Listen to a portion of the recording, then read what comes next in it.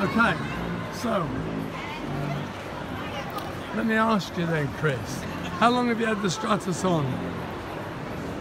Five minutes. About five minutes, okay. And what was your problem before you came to see me?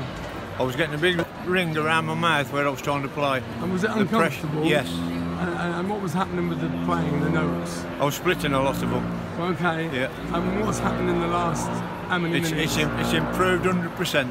hundred percent. Yeah. Okay, and the sort of thing you want I, to sound am like. I'm starting to feel quite confident about playing again now.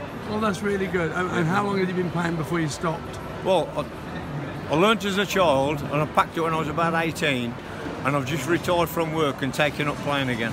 Right, and- and you want to enjoy it more. I really want to enjoy and enjoy do you think meeting me and Stratos is going to help that? No doubt about it. Okay. You're going to take me on from strength to strength. Oh, it's lovely meeting you. Thanks so much for your time. Thank you. Thank you. Bye.